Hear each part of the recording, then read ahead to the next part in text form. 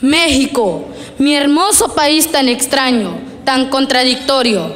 La corrupción te genera una tristeza profunda, pero al mismo tiempo la democracia te hace mantener la esperanza para poder ejercer el derecho del pueblo. Muy buenos días a todos los aquí presentes. Mi nombre es Onano Libero Soyo Angulo. Soy alumno del sexto B de la escuela primaria Lázaro Cárdenas. Y hoy estoy aquí para ser portador de una problemática que ha llegado a todas las esferas sociales, la democracia y combate contra la corrupción.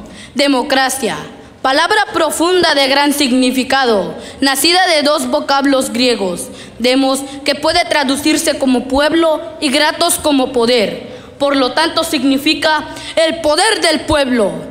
La democracia no es de observancia exclusiva cuando se acude a cada elección a votar, como una estructura jurídica y un régimen político, sino también es un sistema de vida fundado en el constante mejoramiento económico, social y cultural del pueblo.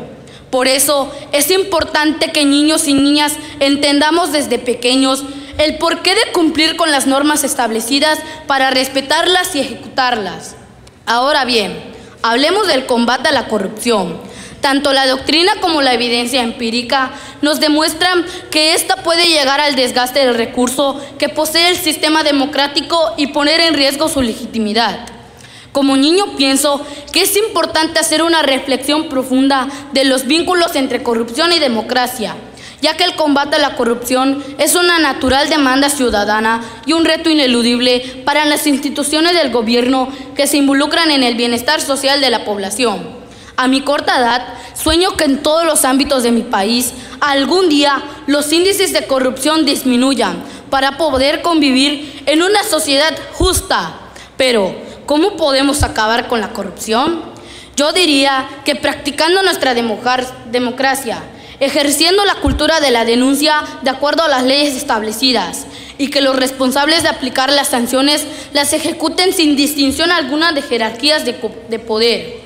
Además, respecto al sistema político de gobierno, todos los involucrados en este deberían servir al pueblo sin intereses personales y económicos, recordando que el poder reside en este. Para esto se crea el Sistema Nacional Anticorrupción, que ofrece un diseño para atender como prioritario este tema. Por lo que aquí dejo como tarea a todos los presentes que reflexionan acerca de cómo pueden participar en forma asertiva y propositiva para combatir la corrupción por el bien de mi municipio, estado y país.